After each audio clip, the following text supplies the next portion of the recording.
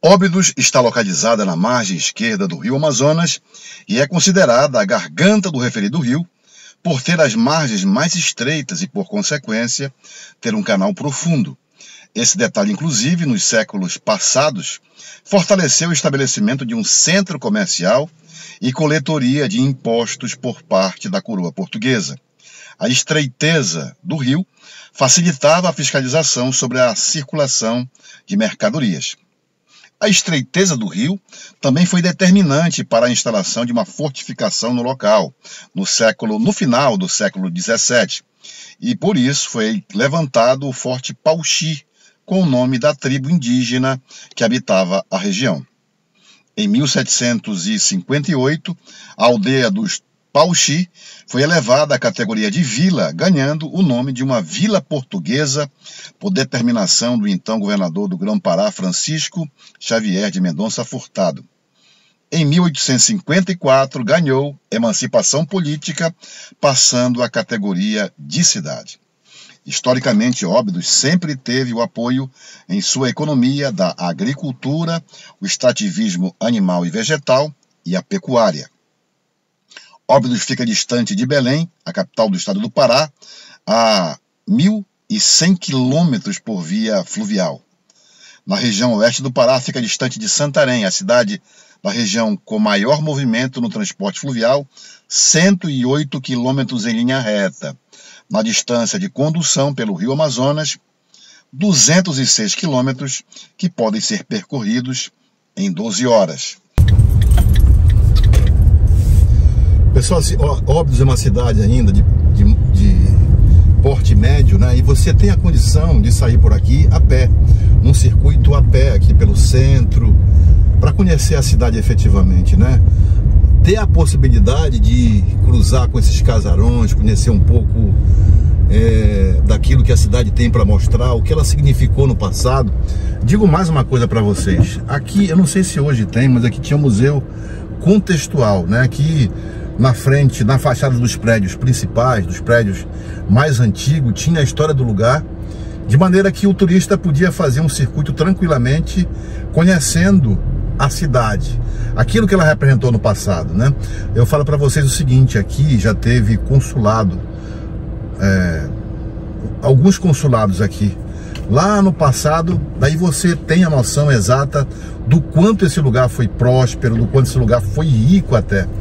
E Óbidos é um lugar a ser pontuado pelos turistas que gostam de história. Óbidos no Pará. Fazer um passeio pelas ruas é como se o passado estivesse de volta.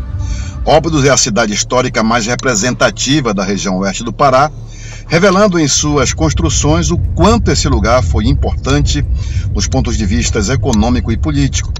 Terra de grandes escritores, pessoas influentes que vieram de todos os pontos do Brasil e do mundo especialmente para desenvolver atividades profissionais, já que nos séculos 18 e 19 a cidade era referência por causa de sua influência junto ao comando português, que tinha a Amazônia como ponto estratégico em decisão de dominar o Brasil. Ficaram os prédios com representação de um passado glamuroso. Óbidos é lugar para fazer passeio. Se você for de carro, por exemplo, é a chance que você tem de andar por essas ruas que respiram história, né? Você pode ter a condição de conhecer um lugar que teve uma representação muito grande no passado, uma força, uma história rica. Foi muito próspero esse lugar. Então, assim, vale muito a pena. E conhecer, por exemplo, a igreja de Santana, né? Você faz mais do que eu, entre lá para conhecer um pouco mais e fazer um circuito. Se for um circuito de carro, normalmente as pessoas chegam de barco e não tem um carro à disposição. Mas se você tiver a condição de andar pela, pelas ruas de Óbidos, você vai se deparar com situações agradabilíssimas, porque é um lugar pequeno, não tem aquelas questões todas de violência.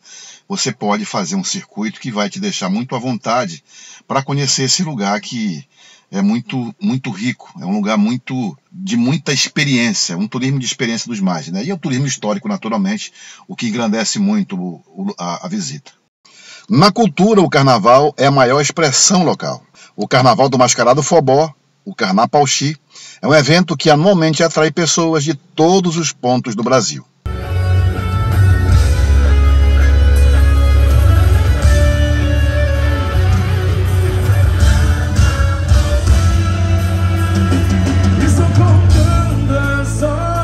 distância de chegar A festa de cor e magia ah, Uma cara fofa, a que mentira